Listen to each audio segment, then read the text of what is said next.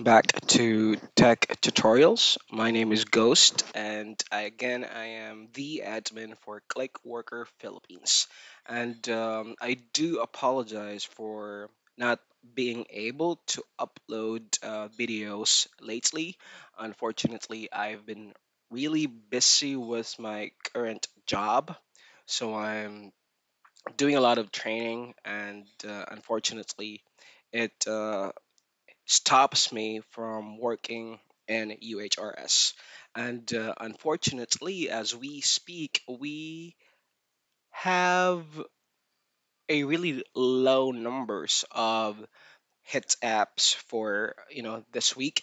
But um, this tutorial uh, is uh, supposed to be a training video and uh, an overview of a hit called Key Phrase Binary English.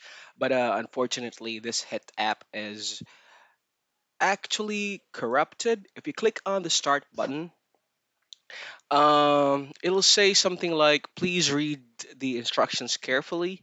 Uh, you are supposed to find a key phrase somewhere here but uh, this hit doesn't show it. So I am unable to proceed with uh, the qualification. But if you pull up the guideline, uh, this one should be really easy. So uh, supposedly we have a website right here, and the key phrase should appear right here. By the way, I tried this uh, hit app on Google Chrome as well as Microsoft Edge and uh, Internet Explorer because um, again UHRS is uh, optimized for Internet Explorer.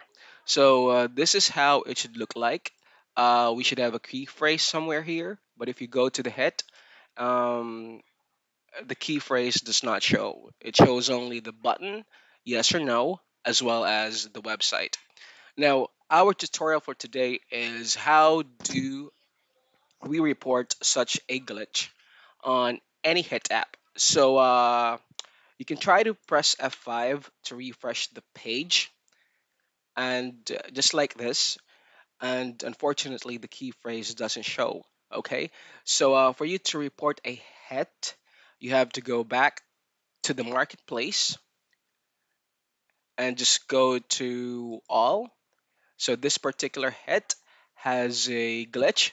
So to report it, click on the smiley icon. Now you can do this on every hit app you encounter, which has a glitch or as corrupted. So to leave a feedback, just click on the smiley icon. So uh, let me move this here so you can have a view of everything.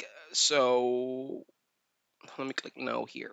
So from here, uh, we are all aware. So the hit up hit app number is uh, 51957. So uh, categorize your feedback. It'll be a hit app issue.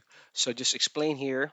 Um, uh, the hit does not show both the website as hold on website as well as the key phrase.